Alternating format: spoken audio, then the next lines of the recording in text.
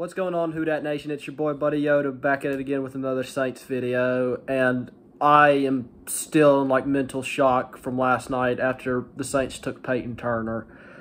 I still don't understand the pick whatsoever, like at all.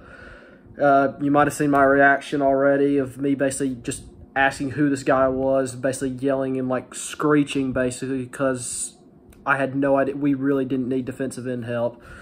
So did a little bit of research on him. Turns out, basically played at Houston, was made second team all for like his in his conference, and was somewhat of a decent defensive end, wrapping up, racking up five sacks in five games he played last year. But but still, I don't understand the pick here whatsoever. You have Carl Granderson, Marcus Davenport, and Cam Jordan, and you just signed the guy from I can't remember his name right now from Kansas City. It's four guys that can that fit the needed defensive end slash defensive tackle if they needed to. You had way more pressing needs. You needed a another linebacker, which maybe they believe in Zack Baun. I'm not sure.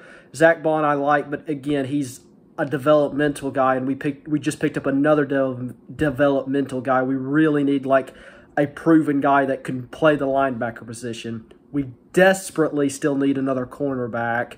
Maybe we're looking at signing Richard Sherman this offseason, but who's to say another team won't pick him up because we still don't have like any money due to cap.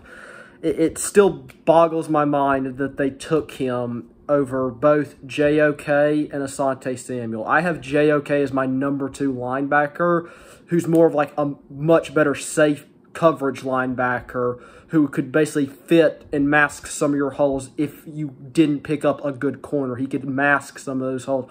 And then Asante Samuel, dude's just a beast. Probably one of like the only good things uh, on the defense for Florida last Florida State last year, and it's it still just baffles my mind what the Saints did last night. For tonight, we got the 60th pick, the 98th pick, and the 105th pick. Oh gosh, please, please, Saints, just be sane for once. Uh, targets to look for in both of those rounds. At the 60th pick, look for them to pick up, uh, if he falls, Tyson Campbell, cornerback from Georgia, but also look maybe for a trade up uh, into the early second round if they want to grab somebody they like. Fingers crossed they would if they do that, JOK or Asante Samuel. But uh, realistically, uh, look for either a corner or linebacker at that point. Most likely would be either for linebacker, I would say Jabril Cox at 60, and corner Tyson Campbell at 60 would make a lot of sense for the Saints. And then with the 98th and 105th, depending on what they do at the 60th, I think they take the opposite of what they did in the 60. So if they took a linebacker, they'll take a corner. If they took a corner, they'll take a linebacker. Guys, I'd want them to target. Uh, linebacker from Georgia, Monty Rice. Dude started all all of his years at Georgia. He's not a flashy type guy, but it says something if you start for Georgia all the time in your collegiate. He was a true freshman, so would be a nice pickup to help solidify and give you like uh, a nice transition. If like, do you like Zach Baun or do you like him? You can kind of go back and forth between those. But Monty, I would say, is more proven. And maybe look for uh, Benjamin St. Juice. I can't. I'm sorry, I've, I messed up his name. Uh, cornerback from Minnesota, if I remember correctly. Uh, lit up the Senior Bowl would be a great pickup. And also maybe look for Shaun Wade, uh, corner from Ohio State.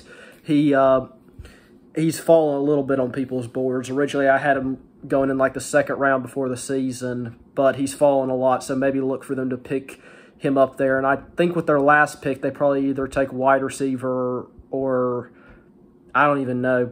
I'm, I'm guessing it's probably going to be wide receiver at that point. I look for Josh Palmer. I know he doesn't have the greatest stats, but mainly dude on tape was amazing. And maybe as well look for Seth Williams or Amon-Ra St. Brown if he's still on the board to go there both dudes, uh, dudes would, all three dudes at wide receiver, I think, would do great for the team.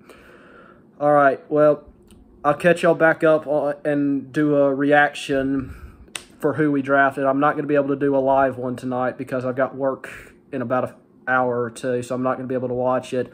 But once I get back home and see and look at the Saints picked, I'll give you my first reactions to that. All right. Take care, guys, and peace.